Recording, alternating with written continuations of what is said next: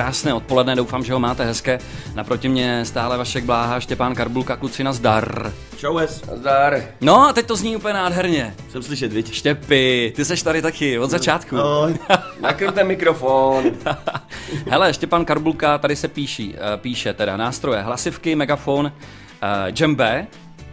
To znamená, že No já jsem jenom koukal jakoby na tvůj profil, víš, abych věděl, jestli tam máš eh, ještě nějaký nástroj k tomu megafonu a majku. A ty si nikdy nechtěl a jakoby vyloženě třeba já nevím, já jsem vždycky chtěl hrát na kytaru, prásknu. Neměl jsi nikdy takovou jakoby ambici, nebo nezamiloval se do nějakého nástroje, který by tě fakt jako takhle rajcnul, jako mě kolikrát ženská a, a chtěl, chtěl by ho prostě no udělat? jako natchnul jsem se vždycky do toho, ale dlouho to nevydrželo, ono to docela bolelo. Teď o čem se bavíme? kytara. jo? No, kytara.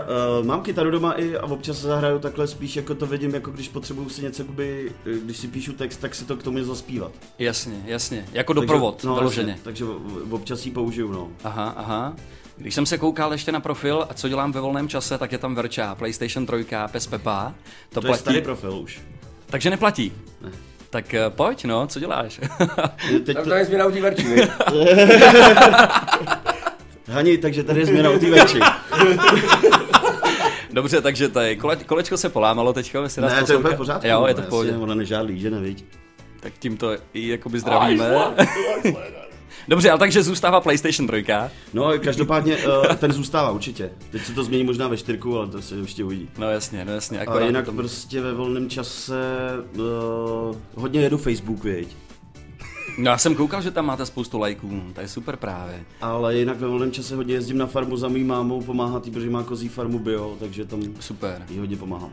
OK, nějaký moudro ještě jsem zjišťoval a uh, ty vlastně píšeš a teď právě nevím, jestli to platí, když je to starší, ale mně se to líbí, protože já s tím mám vlastně taky problém a pořád se to učím. Nenechat se vytočit srážku s blbcem, ano. Což se mi vůbec nedaří. Takže Proto nedaří jsem se tam, to. pro, protože, proto jsem tam napsal, že jo? Že to je moje velká slabina. Jako. No jasně, no jasně. Hele. vždycky se nechám vytočit. My jsme se nejvíc smáli, protože náš Vasák Jurda, když jsme si to dělali na stránky, že jo, ty kréda, tak no. on tam dal, pamatuješ si to, on, tam, on dal, eh, neokrádat kamarády. Jako takový moto. A tohle napsal kamarád, jako vyloženě.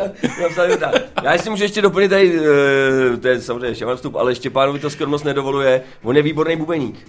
Proto jako to Jumbe, on hraje fakt dobře jako na super celou soupravu, musím říct, že eh, hromadu pecek jako jsme dali vlastně dokupy s ním, protože Aha. Prostě hraje jakoby jinak a eh, sedí nám to a ale jenom, že zase by, jsme nám, by nám chyběl na frontě, že jo, kdyby seděl vzadu za bicíma. Tím nechci říct, že máme Máru Židulku z fantastického bubeníka, Jasně. ale prostě Štěpán, jak skromnost mu to nedovoluje, tak jenom jsem to chtěl říct. Takže rytmika, štěpy.